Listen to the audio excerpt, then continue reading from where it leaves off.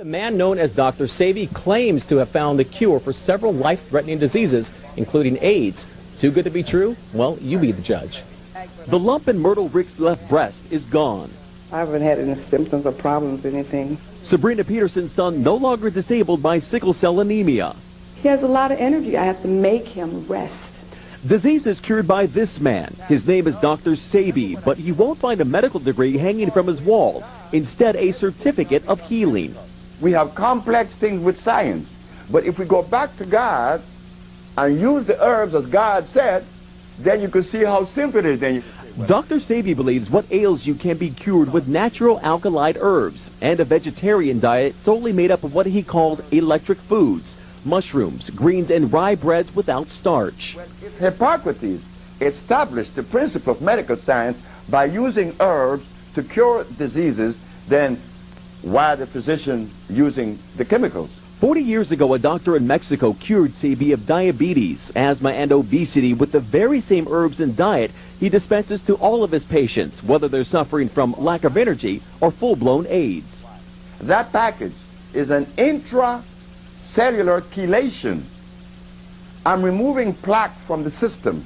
I'm removing inflammation. That is the base for all disease. And according to a medical affidavit provided by Dr. Sebi, it's working. It shows a patient diagnosed with HIV in November of 1993 was cured two months later. Thousands of patients worldwide swear by his methods and natural herbal medicines. In the tiny village, Lisa sought guidance for body and soul from an herbal guru named Dr. Sebi. Dr. Sebi, you know, according to him, can cure anything. Everything from trying to lose weight to, you know, looking for a cure for AIDS. People go there with hopes and dreams that Dr. Sebi can somehow save them.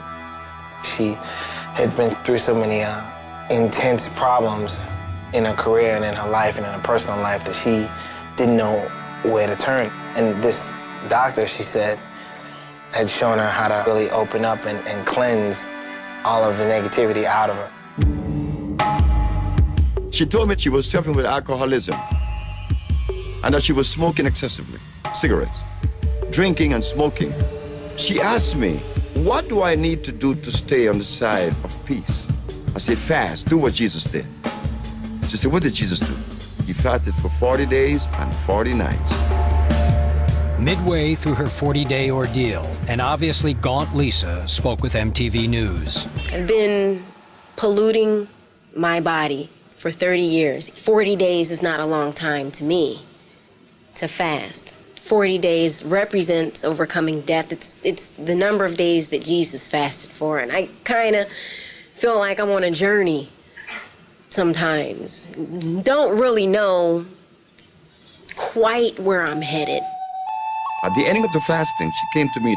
I heard the door opening at 2 o'clock in the morning. She said, I completed my fast this morning. I said, What did you see?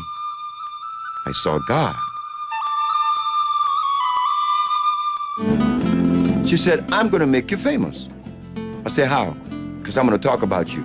Does everyone know you cure AIDS and cancer? There's just a lot of people in the world who are suffering. They're sick. They're not happy.